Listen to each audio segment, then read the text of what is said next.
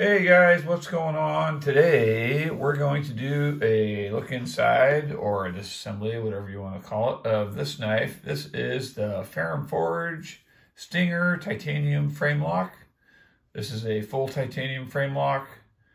Um, Nitro V steel blade, very much a Ferrum Forge knife. It's got a lot of Ferrum Forge characteristics to it. Nice and rounded everywhere. But anyway, all that's just for the review.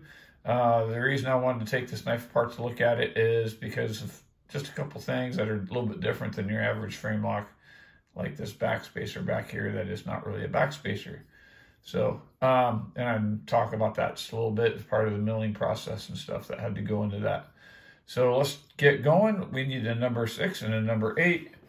Torx bit on this knife. It's really simple. It's two screws. One of the things I like about Ferrum Forge is they do keep things pretty simple most of the time. So that's cool. I've owned a few of their a few of their knives. I've owned a few of the uh, uh, budget Chinese made ones like this one here. And I've owned full Ferrum Forge made right by them in California. And I've owned some of their mid-techs made by other companies in the United States. There's what we're looking for right there.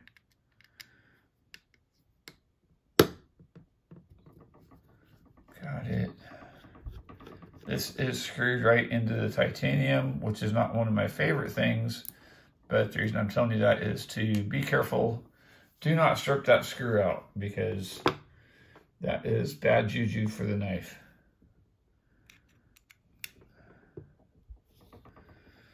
The pivot is super tight, but it's okay because it is captive on this side. That is, in my opinion, one of the coolest pivots made right there. And you see that stuff on my fingers. I've been sharpening knives. And I thought, well, I'm going to make a video while I'm at it. And that's super tight. There we go. Like that. Release some pressure my little tool.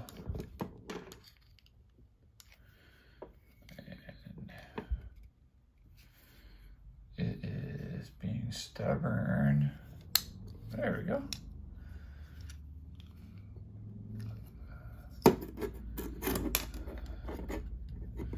There we go. And as you can see, one of the things about this knife that makes it kind of interesting is, there's your pivot, captive. One of the things with Ferrum Forge is they don't really use very big pivots because the way they design their knives, the geometry of the lock bar and the stop pin and the location of everything, there is not a whole lot of pressure put on the pivot or on the stop pin really. It all kind of works together. So as you can see right there, that is screwed directly into the titanium. Not a favorite thing. It's got a nice little standoff deal there for alignment. A little alignment peg, I guess you would call that. And there's where your stop bar goes.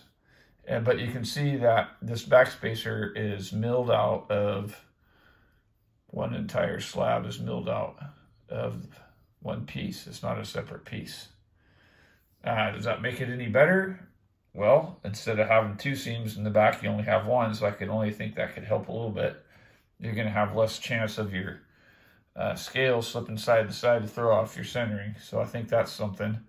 Um, and probably chances are this is going to be milled a lot more flat, being that it's milled instead of just cut off of a sheet that's already set thickness. So not to say that that's how they do it, but um, I imagine that's how a lot of knife companies do it. Otherwise, it's pretty much your normal affair. There is your stainless steel lock insert, and it's got a uh, built-in over travel stop right onto it, like a lot of knife companies do. Uh, there is your ceramic detent ball. There's the other side of that backspacer. Um, there is your pocket clip, which is also screwed right into the titanium. And you can see that the screw's been ground off just a little bit to keep it inside the scale. Uh, Again, not my favorite way of doing things, screwing right into titanium, but that's what they did. I am not sure what that's all about. Something. So, uh, yeah. Very simple. It is nice and clean though. It's milled nice and clean. The knife's not really super dirty. So cleaning it up is going to be pretty simple. This is my cleaning solution. EDCI. It uh, not only cleans, but it prevents corrosion. So I'm good with that. I like that a lot.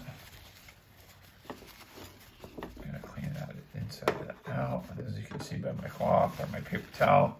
But there is not a lot of dirt and stuff in here because I take pretty good care of this knife. And it wasn't that long ago that the last time I cleaned it. It does have stainless steel washers to keep the bearings from running right against the titanium which is also a good thing because ceramic bearings will wear into the titanium. Nitro V steel. There's your markings on there for Nitro V. A little bit of crud on there that doesn't want to come off. Uh, Nitro V, they say it's stainless. Um, it is stainless, but like 154CM I have had Nitro V markup on me. I can show you that knife in another video. I'm going to clean the bearings off.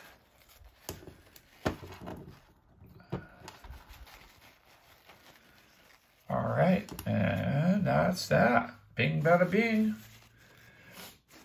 Let's put this baby back together. This side, I really, let's see, is that the show side? No. No. That's the show side. Let's put our pivot on like that.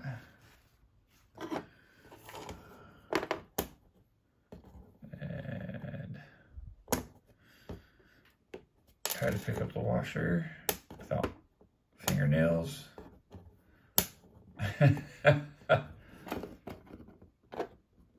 there we go.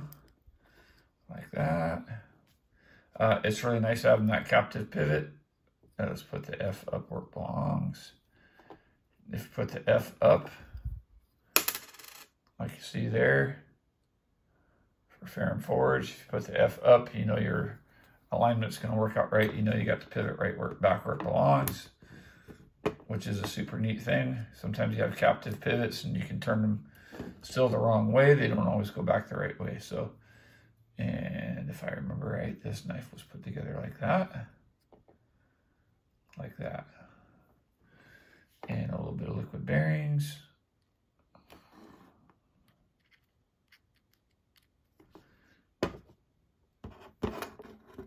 And a blade.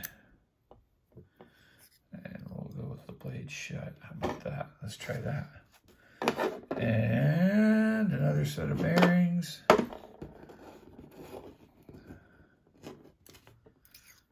did I do those? I did those like that. And a drip of liquid bearings in there. And then that goes in there like that.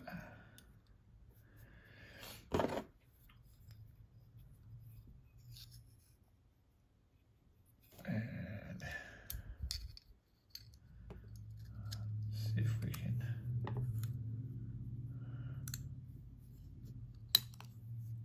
It's like that. Bingo. Snaps right together real easy. I to take a little pressure off the uh, lock bar and there you have it. How simple is that, right? And then put the screw back in here.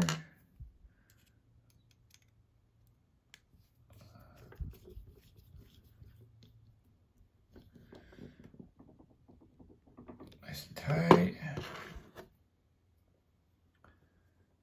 This still has some Loctite left on it. So, and I believe this one is made by WE or Civivi, one of the two. But I know it's made in China. Some people like to have a kind of a stink about that when they see knife companies like Ferrum Forge doing that because they are, you know, they're an American company, but they're just trying to get their knives in the hands of more people. And this knife has had a little bit of lock stick since it was brand new.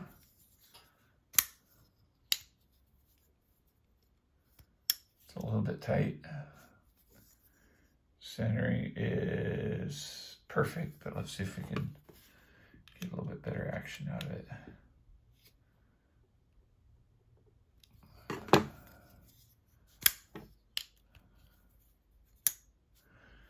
And centering is now a little bit off. Tighten it back up just a little bit. Let's loosen that all the way.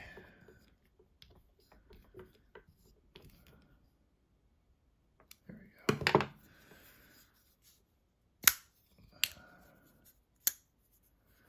go. Oof. Now look at my centering. That's crazy.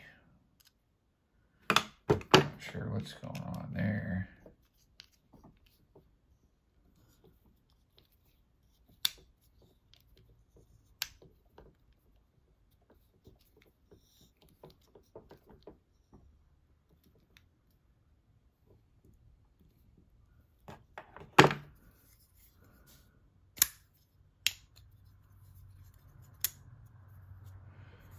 Zoom out just a little bit.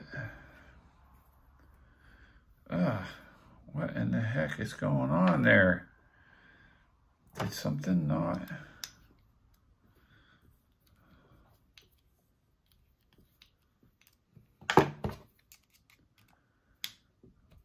And here I thought this was going to be like the easiest video ever.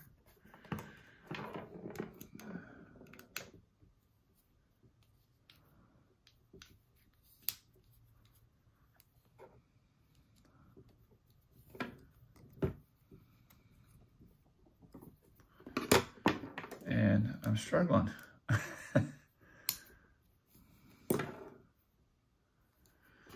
that pivot is not seating correctly.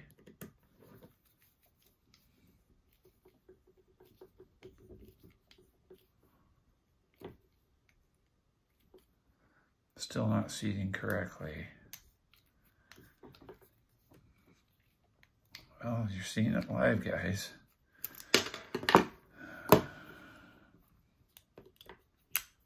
There, it's seated correctly. Weird.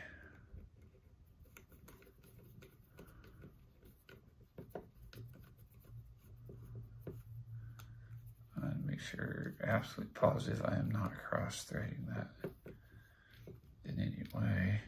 Oh yeah, I can feel the difference. Oh yeah, now it's way too tight. The centering's way off the other way.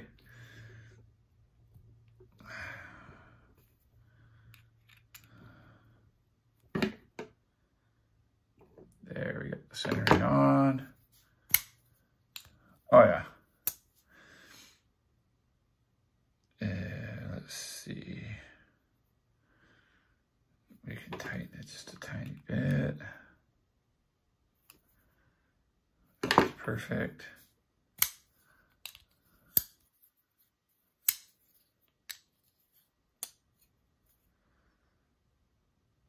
That's really nice. Oh yeah, better, better, better. Anyway, there it is. The assembly, disassembly of the Ferrum Forge Stinger frame lock. Could be a little bit smoother, but that's just the way it goes. There you have it. Hope you guys are having a great day. Get your wife and kids, get out enjoy the outdoors, turn off the TV, all that good stuff. Toad sticker out.